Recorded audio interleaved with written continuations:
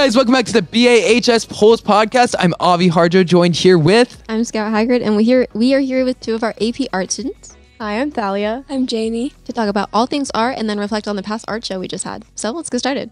Okay, how long have you guys been in art? Um, I've been in art seriously since middle school, and I've loved it since elementary school. Probably the same for you, Janie. Yeah. All right, cool. It sounds like you guys have been in a while. Within that, what has been your favorite class? I think definitely these AP art classes. Um, my first one was last year with Mr. Tadero, and it's just an amazing experience. I learned so much. Yeah, I've loved the AP classes here. Um, starting with Mr. Tadero, and now we've been able to take three, and it's just they're amazing. I love them. Okay, so have you guys competed in any art competitions before? Um, yes, so the Scholastic Art competition that just came up, um, I got a silver key and honorable mention, and then also young talent. Yeah. So Um, Yeah, yeah, we got this young talent in Oklahoma is a competition, and we both got a piece in. So yay! Cool. So, as you guys know, Broken Arrow High School just hosted our first ever art show. And what's it called? I like it, Picasso. Where'd you guys get that name? The TikTok sound. Fair. How was it to contribute to the making of it? Um, it was interesting, but it was fun. It was a lot of hard work, a lot of after school work, and um, dedication. But honestly, it turned out really, really good, and it was really fun. But just a lot of work. We had a lot of people submit, and so Yes. we weren't expecting that many submissions, but it was it was a really Pleasant surprise. Me and Scout actually were there. I we mean, got a you can chance to look. It was really nice. It was. li- It literally looked like like a professional art exhibit. It was really cool. so glad you enjoyed. Um, was it completely student led? Like who was in charge of all of it? yeah. It was completely student led. Uh, Mr. Tadero had the idea for it, and then basically we just took it from there. Yeah, he And handed us the reins, and we yeah. just planned everything, paid for almost everything. We set up everything. It was all student operated. So How would you guys say the turnout was? The turnout, like the opening night, the first couple hours good. were there was a lot of people that came. I wasn't expecting that many people, a but really good flow of people, and yeah, it was just really good. Sorry. Do you guys think it'll return next year? Oh Yes. yeah, definitely. Mm. there were definitely a couple things that like we could have tweaked And and, everything. improved. Yeah. So I'm excited to see how it turns out next year. It's good. Is there any, uh, any other projects you guys are like planning on or like looking forward to this year? Um, I know we have the district art show coming up, like April, April fifteenth, something like that. Somewhere in April, sometime soon, and um, we're just prepping for. We have. Oh wait, we actually have murals. Oh yeah. So with art club, we have been doing a lot. bleh. we have some projects coming up, and so we're painting uh, doors for the library, which is like book scenes, and so it's like Imagination. yeah, and so there's like Alice in Wonderland and um, other ones as well. Charlotte's Web, Charlotte's all kinds of things like that. And then we're also painting murals for the Broken Arrow PAC. I didn't even know that was happening. You guys should that's really cool. talk about it. It's a lot of work. Um, so basically, I don't remember the size, but probably about as big as this table, if not bigger, are the murals. Um, so they're kind of like a you need a team to paint them, but they're supposed to go up and replace the old paintings in the PAC and kind of be like representative of our community and what BA means to us. And it's a big uh, tribute to like the uh, Muskogee tribe. Ours right? is Ours- yes, I think, yeah. a lot That's of my them. tribe. Yeah. Well, we're representing you. well, it's that's what those are, and the doors, like we said, are kind of like doorways to imagination and reading, and we're trying to like boost the library a little bit more too. Show some love. Okay. Uh, do either of you guys plan on pursuing art in college? Most definitely. yeah, definitely trying Um, to. We're both look, uh, waiting for a scholarship from University of Arkansas. Fingers crossed. Yes. wanting to do um, studio art, and I'm wanting to kind of look into like art therapy stuff too. yeah, trying to do studio art and also trying to dance. So try to combine those artistic aspects. So I've never heard of art therapy. What's that?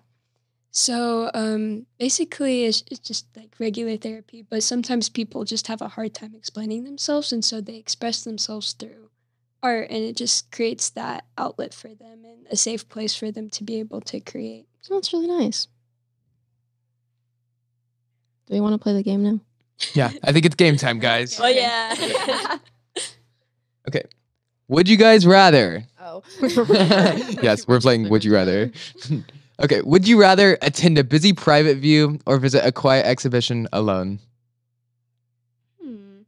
Both sound really fun. I don't know. So something fun about like it being really busy is that sometimes you get to meet some interesting people, Yeah.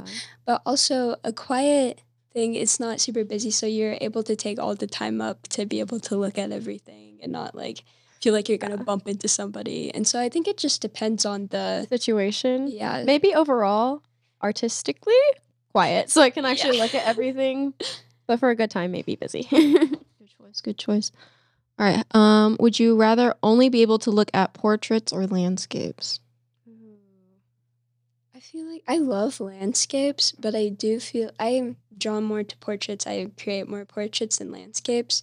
Um, so I just think there's so many interesting features about like just the human face in general, and like you can really just there's so much.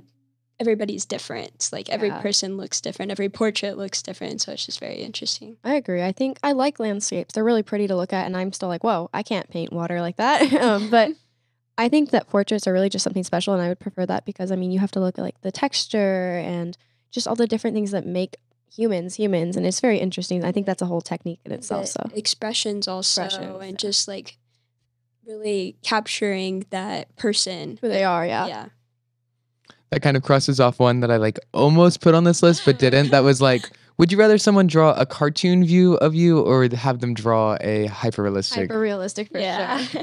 I would look bad as a cartoon. cartoon would be fun though, like at those little fairs where they're like, Mhm. "Oh, let me draw you as a cartoon." They're kind of brutal sometimes. They like, yeah, they see your features and they exaggerate They them. think Oh, Nothing so wrong have with crooked nose, bam. like, I'm like, oh, Thanks.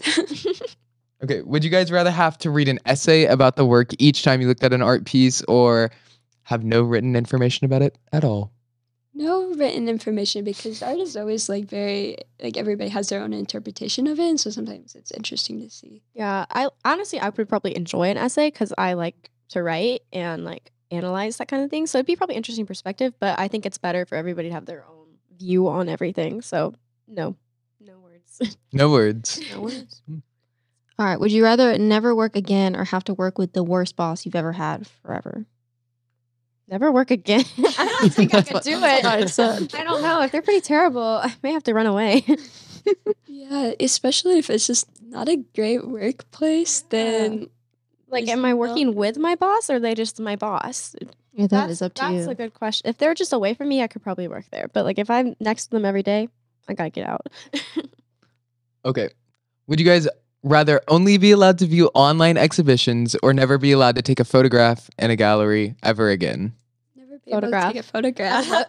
Online, it doesn't do it justice. Mm, really you have to doesn't. see it in person. There's have texture. to. Sometimes there's like even a smell of the paint or like just it's the light hitting it. It's just so different. So definitely in person. That was beautifully worded. All right. Would you rather have loads of sales of your work but have no reputation or have a huge reputation with no sales? I, Now, mean, I would like some money. like some money. I mean, like you kind of want to have an effect. I feel like I'd rather have know? the like effect, and maybe I'll make some side job Yeah. or something. I don't Yeah, know. I think that depends on if I have another job. Yeah. if that's my only job, I kind of. yeah, I think I'd probably still maybe do recognitions just so everybody uh, Yeah, could see it, but less I- for my own fate, like Yeah. fate. yeah, but I think I would be doing something wrong in art Yeah. if the only reason I'm doing it is for money. Money, yeah. You know, and not to make an Gotta have some impact on it, passion. so. It's like having enough to provide for you Yes. to continue pursuing Make art, ends meet. Yeah. but not being like a star. That leads into the next. Talk about starving artists. Would you guys rather never eat again or give up art? Yeah, like That's a good one. I mean, Both ends in let me. not greatness. Well, I don't know if you've ever been working on a piece for a few um like 7 hours or something and you just if you don't have food next to you, you're not eating. I'm sorry, you're not. You're not going to get up and move. I'll, I'll hyper focus so bad that sometimes I like just don't un- know I'm hungry. no, and then I'm just don't And it's like tw- it's like 2 a.m. and I'm like, hmm, I could use a little snack. Like, so I don't know. Maybe I could do the not eating if I focused on my art enough. So you heard it here, and they both want to be starving artists. No. Please pay me. I would like some tacos, please. Tacos, yes. With lime. Back to normal questions. What do you? Where do you guys see that you like find your inspiration the most for your pieces? Uh, like I said earlier, mine is mainly through uh, people. I just think interactions between people or just like the human experience in general is just really interesting. A lot of mine is just my perspective because I kind of make more dark art. Even if it doesn't have a dark meaning, it's just a dark portrayal. Sometimes it's just how it kind of my perspective of, of the world. And I like to kind of portray people's downfalls and show their kind of like deep, true, dark reality for people to see. So I'm also like very interested. Like again, I want to do art therapy, so like st- psychology, like the brain, and just like how that works. It's just so it's so cool. fascinating. So, like, you guys talk about art therapy. I know we kind of went over it earlier, but like, does that include like Rorschachs and like stuff like that, where you like Like the ink blot test. oh, Probably. I think that's just I mean, regular. maybe. therapy? Yeah, I, so like I'm a little- art therapy is more of like that person like that is getting the therapy is able to express themselves through art. So like, do you Yeah. teach them art? yeah, yeah, like you can Correct like me if I'm give wrong them- in a second. Keep going. Oh, sorry. Yeah, you can give them tips and everything, but mainly it's just for them to be able to do whatever they want. I'm in like an at-risk program for a bunch of kids that come from like really um, different backgrounds, and so they just are able to come and create art, and it's a really great outlet for them that they can just not worry about anything and just keep doing it. Yeah. Can I ask a question? Okay.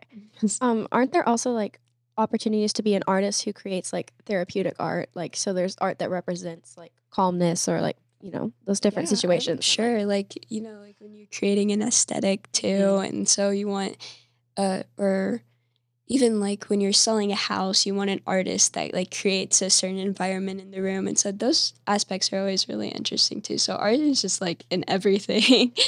See, even probably here. Yeah. Like our, our beautiful sign. So going back to uh, you guys talking about inspiration, would you say it's more from like individual interactions you've had with people or like the passing moments, like walking through the hallway and the stuff that you would say is like the filler in your life, or just like really specific uh, interactions with It would people? Definitely be both. There are like moments I see like just walking or like go- walking down the street and like I see different interactions from people or just like maybe not something that I've experienced myself, but like I've had somebody tell me something happened. I was like, oh, that's kind of cool. Like I want to paint that. And so Yeah. Yeah. um, something for me is like probably like the interactions I have lead to me to like dig deeper into those passing ones that I don't think about. So like all those like passing moments or memories that, like I don't really think about too deeply. Those like little moments in my life are probably what sparked me to like look at it deeper. So I love how into psychology artists typically are because I, love feel like it's hand in hand. it's very deep. I mean, sometimes art can just that's the thing. Art can be so fun where you just like throw paint somewhere and just like get your like emotions out or you just have fun. But it also can like you can really tell a story with it, and that's the beautiful thing about it. And then there's also times that you're just like, I'm just gonna paint something randomly, and then like the idea Bam. just comes to you, and you're like, Whoa, I Yeah. didn't realize this was in my head. like sat up in bed the other night because I got an idea, grabbed my little sketchbook, and was like, it just happens at random moments, inspiration. So it's kind of untold. Do you guys have a favorite medium to make those dreams come to reality? So I am re- I really love graphite and acrylic. A new one I have been experimenting with has been chalk pastel, and I've realized that I really like it. I really like acrylic. Um, sculpting is fun, but I think I prefer to paint. And um, I've experimented with oil this year for the first time, and that's actually the piece that got into a competition, which was very nice. And I, I really like to experiment with texture this year too, as well. So and McDonald's. McDonald's. just kidding. Haha. No one's gonna know what that means. It's an inside. No, I'm just kidding. Okay. Um, circling back, what would you guys say the outside commitment is beyond? um, Well, there and for AP classes, there's a lot of like you need to take your projects home to work on. Um, but and sometimes you need to. Usually they have like supplies for you Yes. to use at school, but sometimes there's like extra stuff that you need to bring. for a or- specific thing, yeah. yeah. You guys ever feel like you face writer's block or like creator's block? Yes. Yeah, but I definitely agree that like it's a lot of outside work. You have to like dedication because these pieces can take months, years, like depending on what you're creating, it can take so it's just dedication and like having the commitment to do the work. And passion. Passion, a lot of passion. Back what would to- you say takes? Oh, Sorry. Back to the writer's block thing, though. Usually, when I have it, I always go on like Pinterest and I look yeah, up Pinterest like is a lifesaver ideas for and- artists. I swear. yeah, and so I never like steal from like No. Pinterest or anything, but like Inspiration. yeah, just just inspiration. And so I like combine a bunch of different pictures, and so I mean that's what artists Yeah, do. and a It's lot of like times we learn to artists take our own reference pictures. Like Janie's taught me that this year. Like so, for like three of my pieces, I almost um drowned for one. So love that piece, please. um, it's called you take your own pictures, and so you have to be creative in that way too. So you guys kind of answered my own question. great. nice. Um, how would you say going about taking a reference picture is? Um, sometimes kinda- they're really funny and really awkward Yeah. because, like, for my last one, the one that won was like not one, but like got in. I had to make myself cry and have mascara, run, and I'm like in my bathroom silently screaming because, but like, there's no sound, but like, it's really awkward and funny. But you really have to just think about your composition of your piece and like how you want your like what you're trying to tell as you're taking a picture. So I remember seeing that piece. It was really good. thank you. Usually, I just take videos. Yeah, and, like, videos. move around weird places. My last piece, in my current piece that I'm working on, I had to like play with the lighting, kind of like we we did before we started this. yeah, But I'll have to play with the lighting to make it look like it was the middle of the day rather it's actually than night. ten o'clock at night. That's where like your friends and family really come in handy. Like my last my reference picture I just did from this my recent piece. Um my mom really helped me out there. It was like we were turning on five million different lights. She's like on a ladder. so I mean get you some friends and family who will help you with your passions. So Do you guys know the painting "A Day in the Park with George"? Like I it's the like French painting where it's heard of it, yeah. where it's like all the With dot- umbrellas. The dot, Yes. the dot oh, one. Yeah. Oh, the pointillism one. yeah. yes. So there's there's like a musical made about that, and there's this I- one I scene. know, I know the musical, yes. there's this one scene where he's just like, and there's a tree where I don't want one, and he's like erases the tree. Okay, I haven't seen it though. I've only heard some music, so that's really funny. but yeah, you can take out anything Yeah, you want. pick you and don't have choose. to use exactly what your reference picture is. That's what That's it what is. more It's a reference picture. And that's the creative liberty of artist. So You guys have any advice or any words for people who want, might be wanting to join art? If you don't think that you're a good artist, like that's literally what art classes are for. Like if that's the only reason that's holding you back, then like we have amazing art teachers that are here to to help teach you, you. here to teach you. That's that's what they're here for. Um, and I've learned so much even just like this past year, and so yeah. Yeah, I mean, I've changed a lot in these past just two years. Like, it's crazy.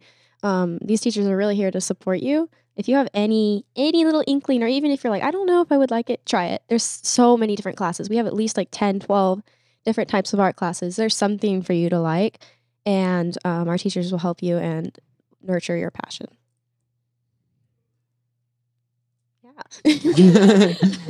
so join art, guys. Please. Yeah. It's really fun. I think it's a good outlet for people, especially when it's starting to get like stressful. It's a good way to like, you know, just like let things go and have like a fun class. Yeah, and there's times where you can just get in the zone and just focus on your art, and you, all your outside worries just go away, and it's great. And I definitely say there's probably some like skills and especially perceptively like outlook takeaways that you can apply to like your entire life. Yes, Yes, definitely. It's kind of funny that there's been a couple pieces that I'll be working on that I'll have an experience happening in my own life at the same time. And I was like, huh, this is kind of weird. Like, kind of crazy coincidence that this happened. Just really being able to bounce off all these other creative people is really amazing as well. I mean, I'm learning so much from them too. So And joining art, I've gained so many friends from that also. and, uh, um, and just like, there's just a whole community. there really is, and now that you've joined it, you can find it, and so I highly recommend you guys find it too. So Beautiful. do you have anything else? Let's see. That's kind of it. Yeah, I think that centers back. So cool. Thank you guys for coming. I've like I it was really nice. You guys are really good at talking about it. I can tell that you guys really, really care and have like such a passion for it. And I've loved your pieces, both of yours, because I saw them in the art show. Yeah, I pointed them out when you were gone. We made sure to look at yours too, Jenny. Oh, thank, thank you. Alright. and we should be having a BAHS segment coming up pretty soon. That'll be We on are working on that. on the Wednesday GMBA. So hey. you Alright. might see might see these familiar faces once again pretty soon. So Thank you guys so much for joining us. We'll see you next time. bye.